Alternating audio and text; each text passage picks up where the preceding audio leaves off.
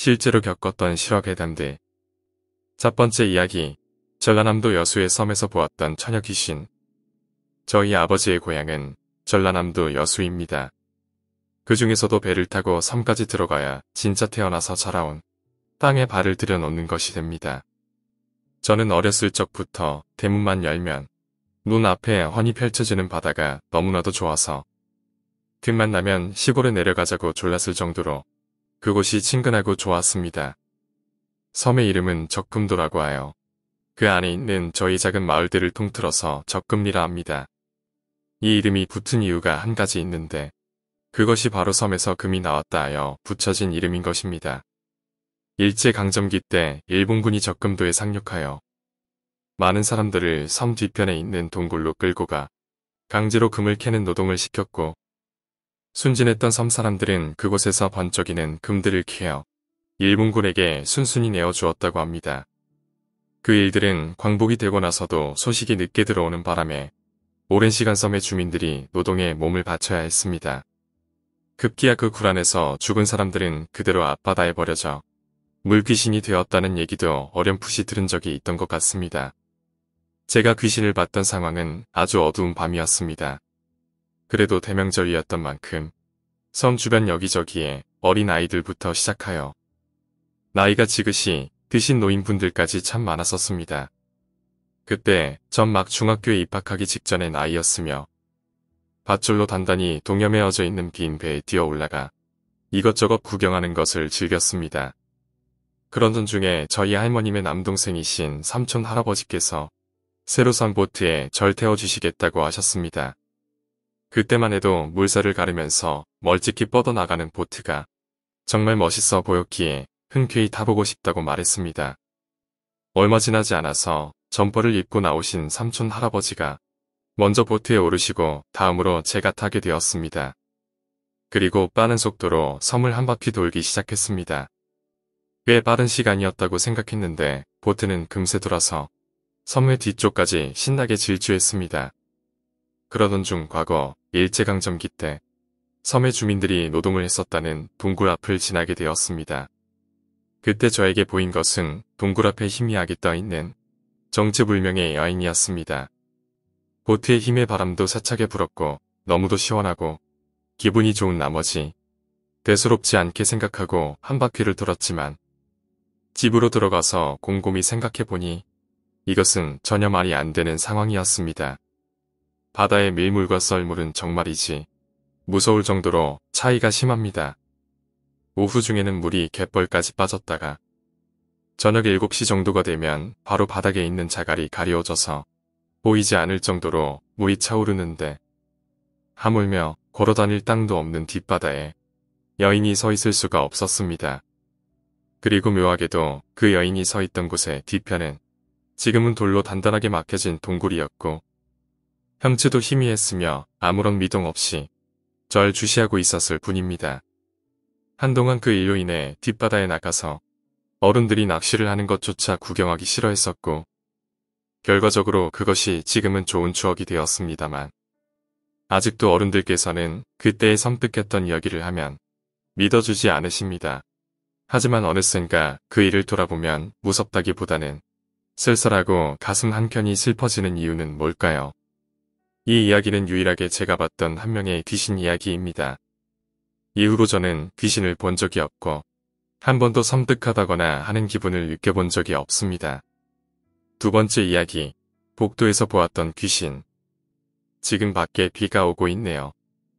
그때도 비가 오는 날이어서 그런가 갑자기 생각이 나네요. 제가 중학교 2학년 때 수업 중이었습니다. 교실에만 불을 켜놓고 왜 그랬는지는 모르겠는데 복도에는 불이 다 꺼져 있었습니다. 날이 흐리다 보니 복도는 아주 깜깜했습니다. 수업에 집중도 안 되고 해서 그 깜깜한 복도 쪽 창문을 바라보고 있는데 갑자기 사람 형태가 빠르게 뛰어가는 게 보이더군요. 그땐 그냥 어디 급해서 뛰어가는가 보다 했는데 갑자기 선생님께서 수업을 멈추시고는 바로 문을 열고 그 뛰어간 곳을 바라보시더군요. 그러시더니 하시는 말씀이 너희들 방금 뛰어가는 사람 봤냐? 이러시더군요. 저랑 몇몇 애들이 봤다고 말을 했습니다. 선생님께서 방금 그애 없어졌다라고 하시더군요. 저는 뭐 그렇게 뛰었으니 벌써 다른 데로 갔겠지 했는데 저희가 복도 끝입니다. 뒤에는 벽이라 막혀 있습니다. 저는 그때 잠도 오고 해서 정신도 없는 터라 뒤에 벽이 있다는 것도 생각 못하고 그냥 사람이 뛰어가는가 보다 했었는데 선생님 말씀하시는 거 보고 알겠더군요. 그날은 아주 조용한 복도였습니다. 그만한 속도로 달렸으면 소리라도 나서야 했는데 아무 소리도 안 나고 조용했어요. 그리고 사람이었다고 쳐도 아무리 빨라도 우리 교실에서 안 보이는 공간으로 가기는 무리였습니다. 제가 뛰는 걸 보자마자 바로 선생님께서 문을 열고 확인하셨거든요. 별로 무섭진 않았지만 신기한 경험이었습니다. 세 번째 이야기 20년 전 일본에서 있었던 일 2002년 동경에서 학교 다닐 때 이야기야. 학교는 신주쿠교엔에 있었고 내가 살던 기숙사는 코엔지라는 동네였는데 자전거로 40분 정도 걸리는 거리였지.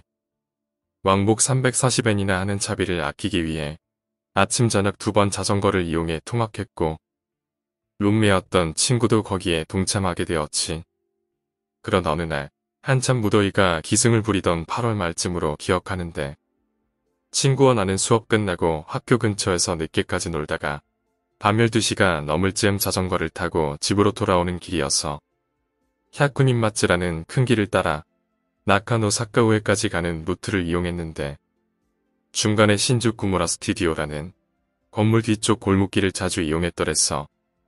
큰 길 따라가면 행인도 많고 종종 경찰들이 도난 자전거 검문한다고 잡곤 해서 귀찮아지기 때문에 조금 빙돌아도 한적한 뒷골목길을 이용했던 거였지. 근데 그 골목길 입구에는 도저히 사람이 사는 것 같지 않은 낡은 아파트가 있었어. 건물 외벽은 형편없이 사갔고 덩쿨 식물로 뒤덮여 있었는데 한낮에 지나갈 때는 그냥 별거 아닌 낡은 아파트였지만 한밤중에 지나갈 때는 왠지 모르게 으스스한 곳이었지. 친구랑 자전거 타고 돌아가던 그날 밤처럼 부슬부슬 안개비가 내리던 밤은 더더욱 말이지. 처음에는 아무런 신경도 안 썼더랬어. 비가 내리자 빨리 집에 가야겠다라는 생각뿐이었지.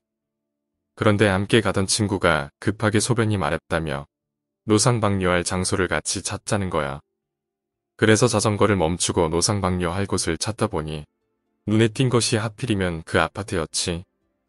다른 곳은 사람이 사는 일반 주택들이라 담벼락에 몰래 시야기는 좀 그랬는데 저 낡은 아파트는 사람 사는 곳도 아니고 아파트 정문도 활짝 열려 있으니 안에 들어가서 후딱 싸고 모자라는 생각이 들었지. 무척이나 급했던 친구는 자전거를 팽겨치듯 놔두고서 아파트로 뛰어들어갔고 나도 자전거를 세운 후 아파트로 향하려던 참이었어. 괴상한 비명소리와 함께 친구가 뛰쳐나오더니 미친 듯이 달려가기 시작했지. 영문도 모른 나도 놀라 뒤따라 달려가다가 친구를 붙들어 진정시키며 왜 그러냐고 다그쳤지. 친구는 한참을 말도 못하고 덜덜 떨다가 심호흡하더니 말하기 시작했어. 처음에는 아파트 안에 아무 방이나 들어가서 화장실을 빌리려고 했는데 막상 입구에 들어서니 너무 컴컴하고 무서웠다는 거야.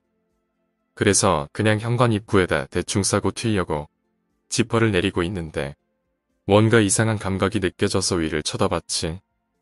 아파트 현관은 바로 옆으로 이어지는 1층 복도와 2층으로 이어지는 계단과 맞닿아 있었는데 친구가 고개를 들어 쳐다본 곳은 2층 계단 쪽이었고 2층 복도와 연결되는 그 계단 끝에는 뭔가가 있었다는 거였어.